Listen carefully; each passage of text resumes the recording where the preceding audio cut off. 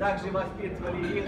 Я уверен, что вы еще будете долго, долго радоваться его счастью. Я хочу всем пожелать, чтобы мы присутствовали на этого пацана э, Бармицва.